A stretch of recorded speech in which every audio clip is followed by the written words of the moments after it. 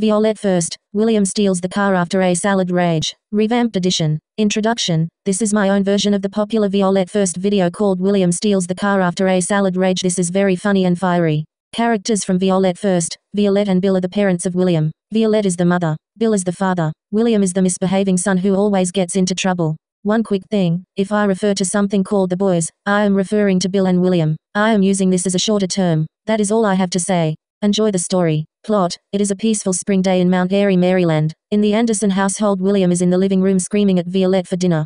Violette roars at William. Three seconds later, Violette walks into the kitchen. Eight seconds later, Violette prepares a salad for William. Five minutes later, Violette hands William the salad. William looks at the salad. Soon, William throws the salad to the floor. Violette screams at William. Soon, William walks into the kitchen. Ten seconds later, William walks outside. Soon, he gets into Violette's SUV. Ten seconds later, Violette flies outside. Soon Violette tries opening the driver's door. A few seconds later William drives off. Twenty minutes later William walks into the house. A few seconds later Violette berates William with questions. Soon Violette explodes in excitement when she gets a box of mozzarella sticks. Soon William and Violette watch TV while eating their Arby's. Eight minutes later William screams in anger. Soon William walks outside with a lighter and towel.